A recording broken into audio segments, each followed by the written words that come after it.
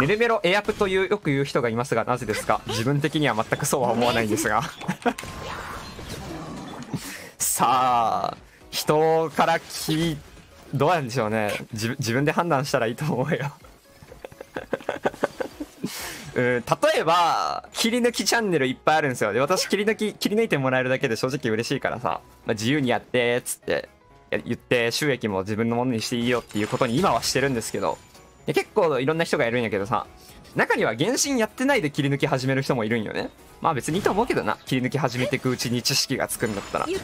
ただ、まあ、私の切り抜き動画を作ってる人がエアプだったりする時もあるのよそしたらそりゃどこか弱いところがあってつつくコメント欄で噛みつく人がいてそれを切り抜き動画ってすごいは拡散力があるからそれ見てエアプだって判断する人はいるやろな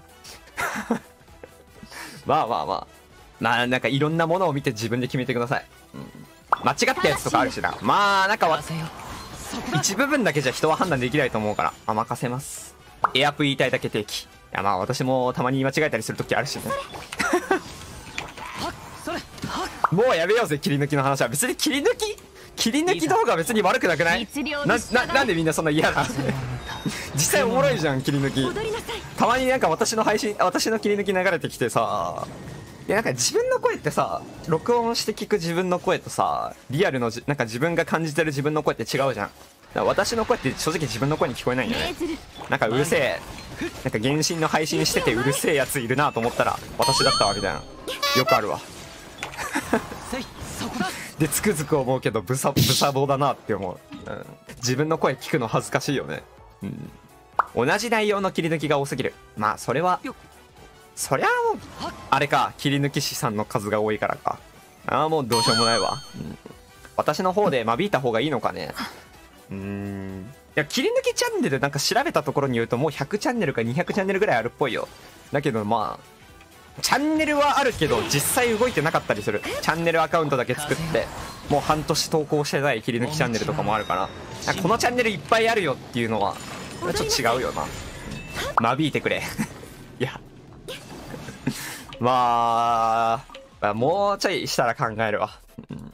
まあ何切り抜きで動画編集始めましたみたいな。なんかちょっと初心者っぽい人いるじゃん。この人全 YouTube 始めてっぽいなみたいな。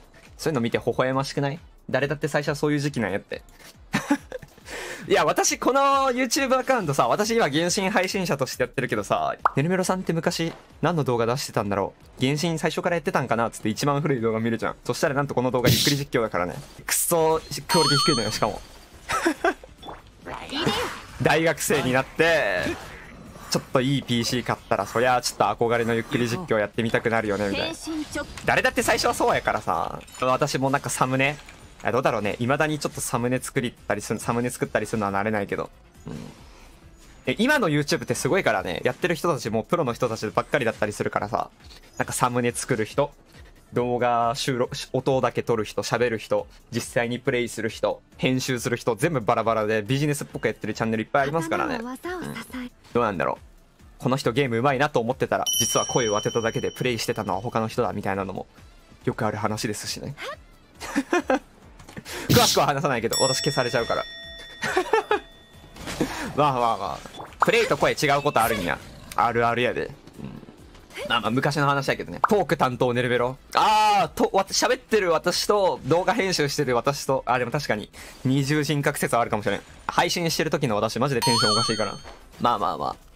という話で。命だからまあでも最初ってみんなでも初心者だからさ。それでなんかきなんか何編集雑だなみたいなのがあってもちょっと微笑ましくね応援してあげてほしいよ続けば上手くなるからなんだって昔の動画見たら声違ったえそれ私の声？あーそれはあれかな？多分使ってるマイクの違いとかじゃないうんマイク未だにわからないわなんかね私は今コンデンサーマイクの AT40 4030?4040? うん、なんか、あ、わかんない。なんか、GPU か、これ。なんかそのマイク使ってるんですよ。4万円ぐらいの。なんやけど、まあ、いいマイクじゃん。だいぶ。なんだけど、いいマイクすぎたらさ、逆にさ、あのー狭い部屋でゲーム配信とか収録してたらさ、声めっちゃ反響するんよ。で、その反響音まで拾っちゃって逆に良くないよね、みたいなのがあってね。あと人の声の質によってもいいマイクって変わってくるから、高いマイクイコールその人に一番その人の良さが一番出るマイクとは限んないんだよねなんかすごい怖いわ。なんかマイク買い替えようかなって思ったりもするんですけど今の環境から変えるのがちょっとめちゃくちゃ怖い。なんならプロの人に相談したいぐらいだ。まあまあ君らもね。い君らもね多分配信したりね動画出したりとかね多分興味あると思うんですけど、まあ、マイクはマジで大事だと思うので、まあこだわってみてください。はっ100均のマイクにする？100均のマイクはきついんじゃないかな。いいさ。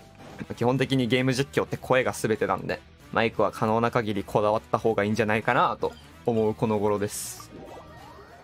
アンバーが食べきれなくて吐き出しちゃった漬け野菜炒めを俺らが食べるぜ。アンバーが食べられなくて吐き出しちゃった漬け野菜にこそ意味があるぜ。俺が食べるよ。